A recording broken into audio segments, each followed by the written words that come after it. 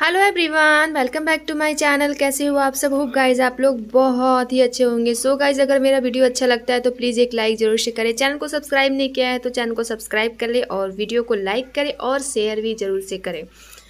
तो मैंने इससे पहले एक वीडियो शेयर किया था, जिसमें मैंने ब्रेड की मिठाई बनाने को सिखाया था और मैंने बोला था कि मैं सेकंड वीडियो लेकर आऊँगी, जो मैंने साइड का ब्राउन पार्ट रखा है, उसके लिए तो आज मैं वो रेसिपी शेयर करने जा रही हूँ।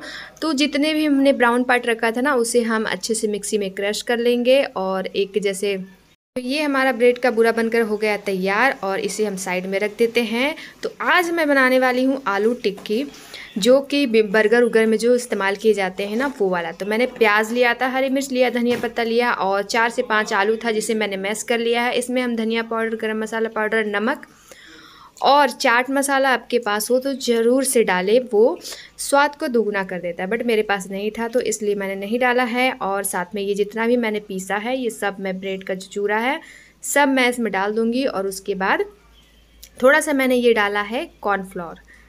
तो ज़्यादा नहीं डालना है, दो चम्मच के करीब डालें। और उसके बाद हम डालेंगे नींबू का रस। चाट मसाला मेरे पास नहीं है तो इसलिए मैंने डाला है नींबू का रस। आपके पास चाट मसाला हो तो चाट मसाला डालें।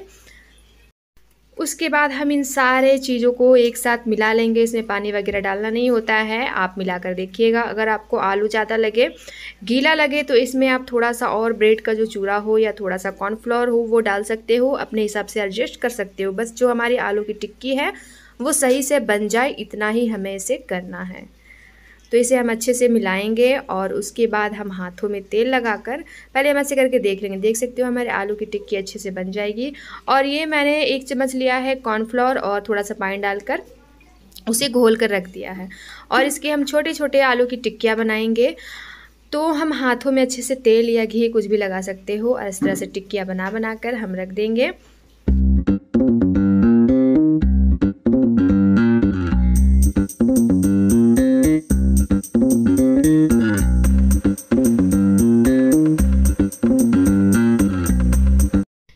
टिक्कियों को ऑयल में डालने से पहले आप कॉर्नफ्लोर में इसे अच्छे से डिप करें और उसके बाद डालें। और हाँ हमारा जो ऑयल है, वो मीडियम गर्म होना चाहिए हाई नहीं।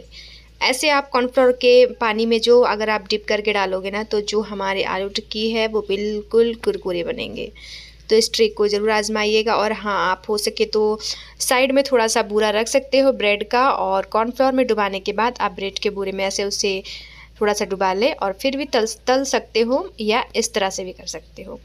तो हमारा मीडियम फ्लेम होना चाहिए और मीडियम ऑयल गर्म होना चाहिए और डालते ही तुरंत आप उसे मत छिड़िएगा, वरना टूट जाएगा हमारा आलू। टिक्की एक साइड से अच्छे से लाल होने दीजिएगा, फिर जाके दूसरी तरफ़ पलटिएगा। इस तरह से हमारी आलू टिक्कियाँ बनकर कुरकुरी तैयार हो जाएँगी। अगर आपको अच्छा लग रहा है वीडियो, लाइक नहीं किया अभी तक आपने तो प्लीज़ लाइक कर दें। तो इसी तरह से हम अपनी सारी आलू टिक्कियों को तल लेंगे।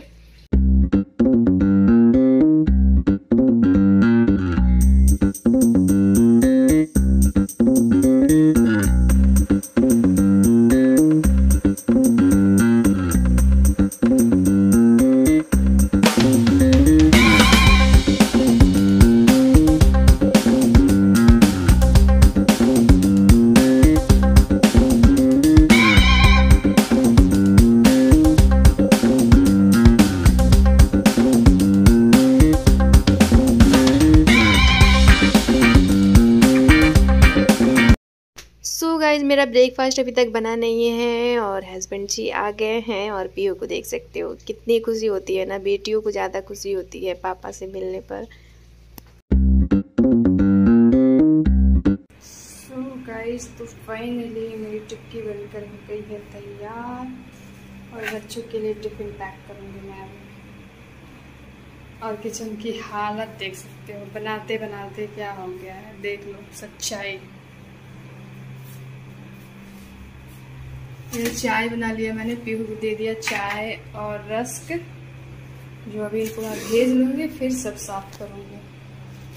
प्रिंस चार डाल दे रहे हैं। नहीं। हाँ। चार में कौन खाएगा कौन? कौन? कौन बोलू? छह डाल दिए ले। बस। ये खाएगा कम और खिलाएगा कम। वो पीहू का टिफ़िन है।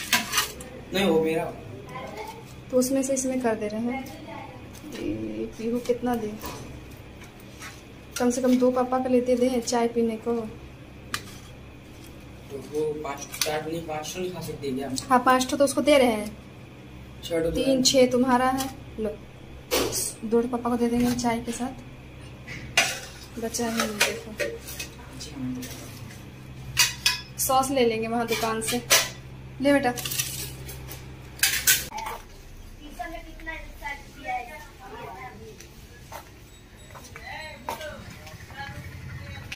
तो मुझे और पैसा लो। चार रुपया है। कितने का मिलेगा? एक। हाँ तो देखो कितने का मिलेगा। ले लेना एक पैकेट सॉस दो पैकेट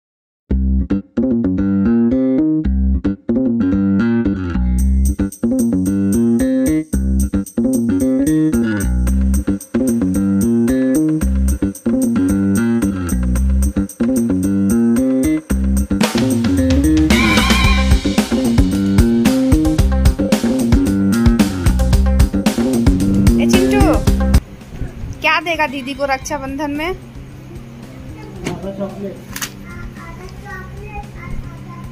आधा पैसा।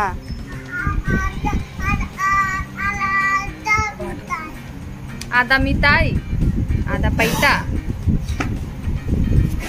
पैसा का, पैसा कहाँ से आएगा तुम्हारे पास? पापा के पास बहुत सारा पैसा है? चार चार पाँच लेके आ जा। सुन। सुन ना। दो है पापा है। अच्छा। पापा एक है कि दो है?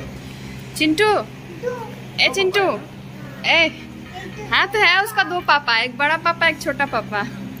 ना चिंटू? एक बड़ा पापा एक छोटा पापा है ना? हाँ मम्मी कितना ठो है? मम्मी भी दो ठो।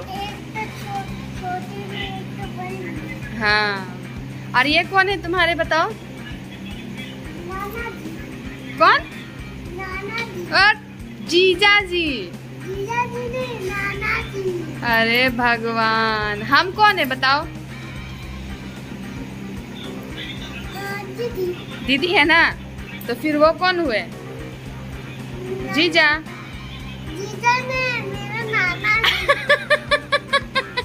कितने रुपए है तुमको? अपने से सीख गए। तेरे मम्मी क्या बोली? उनको नाना बोलना। हिटाए लगाएँगे तेरे को। अब मेरे को नानी बोलेगा क्या? हाँ। मेरे को दीदी बोलेगा और उनको नाना बोलेगा। नाना जी जा रहे हैं। जीजा जी को बाय करो। जीजा जी बाय। जीजा जी बाय बाय करो। इधर गाइस को भी बाय करो? बाय गाइस बोलो। चलो बाय